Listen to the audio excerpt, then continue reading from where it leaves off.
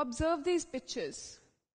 Here you see that each coin looks exactly the same as the other, whereas here it seems as if different coins are placed together. Similarly, what about these books? Each book here looks exactly the same as the other, whereas in this pile, it seems different books are kept together. So in geometry, we use the term congruent in the sense that all measures are equal. So here, each coin looks exactly the same as the other. Here also, each book looks exactly the same as the other. And so we say they are congruent. If not, we say they are not congruent. For instance, let us say you go to a photo studio and you ask for some passport size photos and say this is what you get. So what do you see? Each photo here looks exactly the same as the other or I can say that they have the same shape and size. So if a figure has same shape and size, I say it's congruent. I can represent congruent by this symbol, whereas these two lines show same size and the inverted S shows the same shape. So if same shape and size, I can say they are congruent. Now let us say you asked for some stamp size photos too along with the passport size photos. So are these congruent? Clearly, there's a difference in size. The stamp size photos are much smaller in size than the passport size photos and hence they are not congruent because the size is not the same. To show not congruent, I put the congruent sign and slash it above. So this shows non-congruent. Now we know that the passport size photos are congruent. We know that the passport size photos are not congruent to the stamp size photos also. But what about these stamp size photographs? Are these congruent? Well, yes, they are. To convince you, what I'll do is, I'll rotate this image and place it next to this. Now you would be convinced that these are congruent because they are of the same shape and size. So what you see is that different orientations or position do not change this shape or the size and hence they are congruent. Well, you can see this with your hands too. Are your hands congruent? So what you need to see is that they are of the same shape and size. So for that, easier way would be just to put one over the other.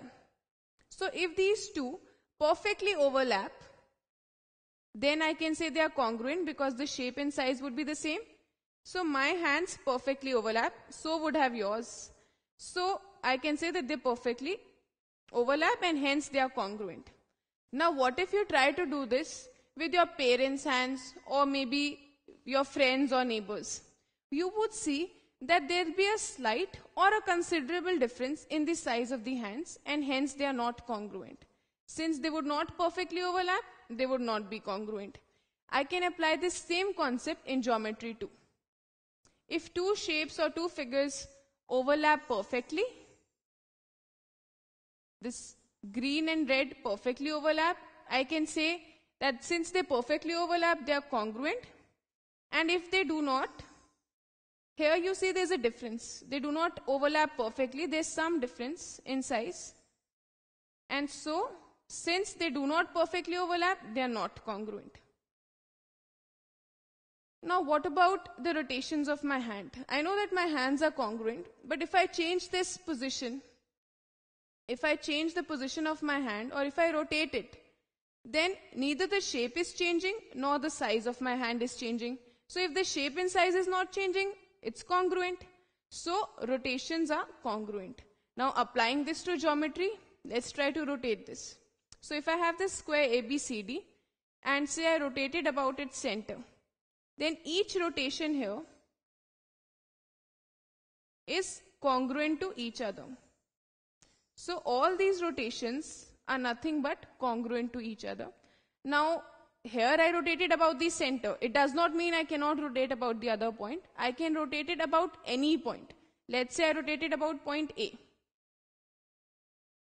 So these figures too are congruent because neither the shape is changing nor the size is changing and hence they are congruent.